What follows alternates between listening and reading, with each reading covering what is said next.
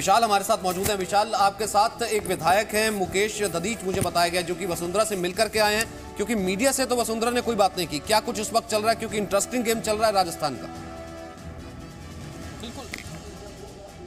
देखिए, राजस्थान के मुख्यमंत्री वसुंधरा राजे इस वक्त बीजेपी मुख्यालय पहुँची हैं। यहाँ पर प्रदेश अध्यक्ष और संगठन मंत्री के साथ उनकी बैठक हो रही मुकेश ददीच जी, जो कि सचिव हैं, वो मिलकर बाहर निकले। मुकेश जी, क्या लग रहा है? अभी तो कांग्रेस रुझानों में आगे है, अट्ठानवे सीटों के साथ राजस्थान में।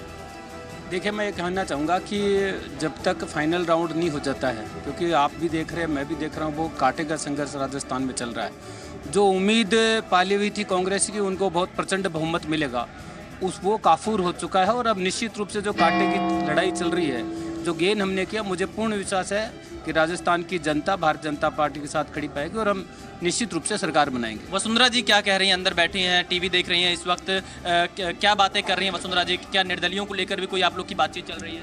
देखिए माननीय मुख्यमंत्री जी का कार्यालय पे आना ये रूटीन की प्रक्रिया कल भी आई थी पहले भी आई थी लगातार आती रहती हैं और जब आती हैं तो निश्चित रूप से बात भी होती है सारे विषयों पे चर्चा भी होती है और कार्यकर्ताओं के साथ मिलना में तो बहुत स्वाभाविक सी बात है इसमें कोई अलग बात कांग्रेस अभी भी आगे है राजस्थान में। आप लोग की धड़कने नहीं बढ़ रही है राजस्थान जाता हुआ दिखाई दे रहा है एक तरीके से। फुगाहट वहाँ से। देखिए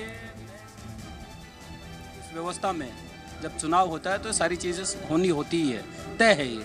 लेकिन मैं समझता हूँ जिस पार्ट जिस प्रकार से जिस मजबूती से हमने चुनाव लड़ा है और जिस तेज़ी से हम आगे बढ़ रहे हैं और कांग्रेस कभी आगे जा रही है कभी पीछे जा रही है मुझे पूर्ण विश्वास है कि जब चुनाव परिणाम आएगा तो निश्चित रूप से भारतीय जनता पार्टी चुनाव के बहुत नज़दीक खड़ी पाएगी। देखिए, चुनाव के बहुत नज़दीक खड़ी पाएगी, सचिन ने इनका मुकेश ददीज का कहना है, वसुंधरा राजे से मिलकर निकले हैं। फ़िलहाल नतीजों पर ही निगाह बनाई हुई बीजेपी और वसुंधरा राजे इस वक्त मुख्यालय में मौजूद है। सचिन।